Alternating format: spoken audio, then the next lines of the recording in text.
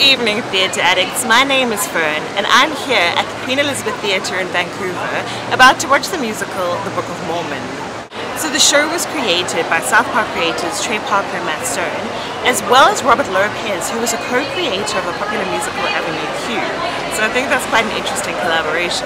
I do trust the musical genius of Trey Parker and Matt Stone, just from, from Team America and from the South Park movie Bigger, Longer and Uncut. The, the music of those movies was just amazing. I actually remember my college tutor, my music tutor, um, going through some of the songs just from kind of a, a composition standpoint. They're, they're, they're really amazing. Um, I do expect the humor of the show, judging from South Park and Avenue Q and, and um, Team America, to be a little maybe crude, vulgar, risque, shocking a little bit. so I don't think this show is for those very easily offended, light-hearted or faint-hearted people. Um, but I think the, the reactions have been very, very positive that even though this is such a kind of humorous take on Mormonism, I think that the overall feel of the show will be very pro-faith. Um, and that's the kind of idea that I get from it. So I'm really excited to see how that pans out. I expect it to be really funny, but also very touching. So I hope that's the case. The one thing that I'm kind of interested to see how they portray um, is their their take on Africa, because I know that the in the story the missionaries are sent to Uganda, and you know the rest of, I'm so tired of the rest of the world portraying Africa in media and films and, and shows as this one entity with one language and one culture and mud huts and flies. and I, I don't think that's how they portray it. Obviously there's going to be only one aspect of Uganda that they can kind of portray. Um, but yeah, I'm just interested to see how they how they bring to life that Ugandan part. I don't really know enough about how much they delve into to like what part of Uganda and things like that, but we'll see about that. But that's something, as someone from Africa, is in the back of my mind, It's just the portrayal of Africa in so much of the world. it's just, it's still to this day, people just don't know you know enough about it as a, as a continent. Um, but yeah otherwise I'm very very excited for this one. So I'm gonna go in and enjoy it and I'll see you after the show. So it's after the show and personally I loved it.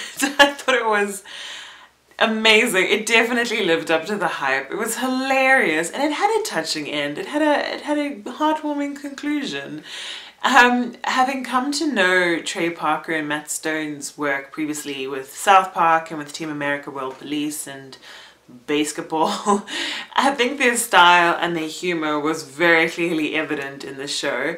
Um, I don't really know Robert Lopez's work well enough, but they clearly work very well together and they clearly inspired each other, all three of them, in this show.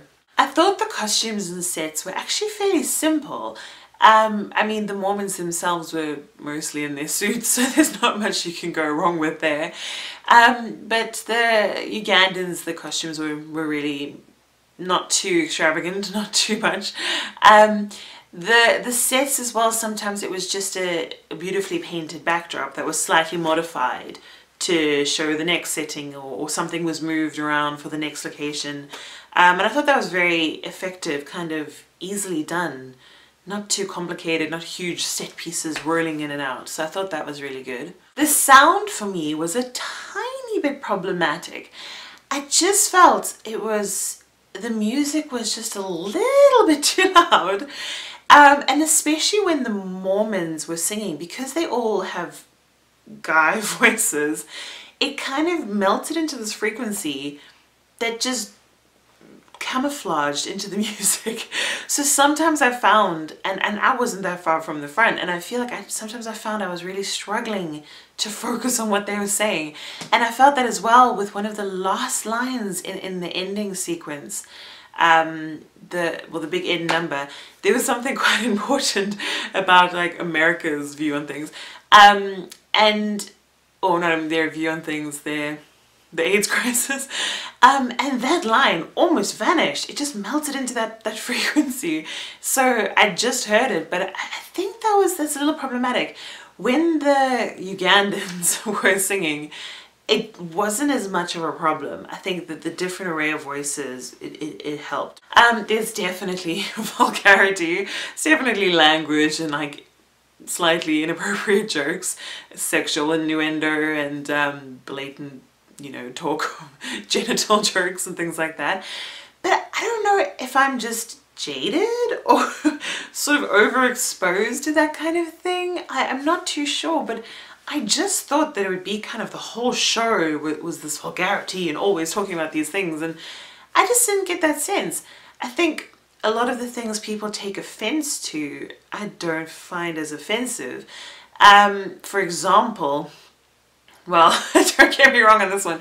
Um, you know, there was a lot of talk about this man that wanted to rape a baby or an infant to cure his AIDS. And I did see a lot of people mentioning this in the bad reviews.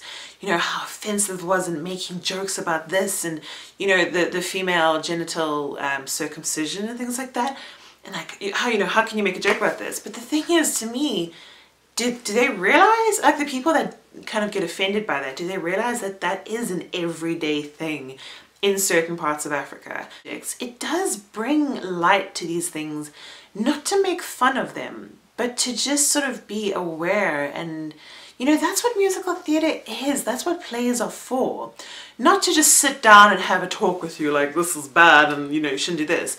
But it's to bring light. It's a commentary on these topics. More on the the ugandan characters um, I thought the accents floated in there and then floated on out again sometimes with some of them um, the the doctor character pretty much had a Jamaican accent. to me it sounded Jamaican. And the, the girl that played, the main actress that played uh, Nab Nabulungi, um, she definitely had some huge gaps in her accent. It just sort of drifted on and then drifted back out. um, but you know, nitpicking again, I just thought that was something that maybe needed to pay more attention to. I always think if you're going to be speaking English, when it's clearly not these people's first language, do you need to go with the accent or do you just go with the standard accent and just you assume that they, I don't know. I've seen Trey Parker saying they just wanted a musical to entertain, to make people feel good. You know, there's a lot of musicals out there that are wonderful, that are intense and dark and, you know, very politically um, focused. But this was actually just besides the offensive jokes and the language and everything, um, you could just enjoy it. You could just laugh and enjoy the music numbers. Um, and I actually thought that all of their voices were fantastic. I did think that the actor that played um, Elder Cunningham was particularly good. His, his whole character was, a, well, the way he played the character was almost like a cartoon character. I thought the girl who played Nabulungi, the main actress, um, even though I said about her accent, she was fantastic as well. She really played it with an endearing character. One of the highlights for me was definitely the spooky hell dream sequence. It really took me by surprise. I thought the um, baptizing song was hilarious and very heavy on the innuendo of course but I, I, loved it that was because those two were so great in the whole show that together they just did that wonderfully thank goodness for the Broadway world and for, for the musical theatre world that Trey Parker and Matt Stone and Robert Lopez um, that they found their calling and that they're able to use their talents in this way. Sometimes you do have to make light of a situation so that people go home and think about them and research them and you know make themselves more aware. Even as just an entertaining night out if you don't want to look into the depth of it if you want to just take it at face value it's still entertaining it's still funny the, the musical numbers are great the cast that I saw were fantastic singers um, it's just it's really really really worth seeing I I'm so glad that I've got to see it after all these years where I've wanted to, when I've wanted to see it. I'm Fern for Theatre Addicts and have a look at our website and our YouTube page for more reviews and just a list of upcoming shows that are around the area if you want to find out what else is going on in Vancouver and Greater Vancouver. Have a look at our website. Thank you very much and happy theatre going.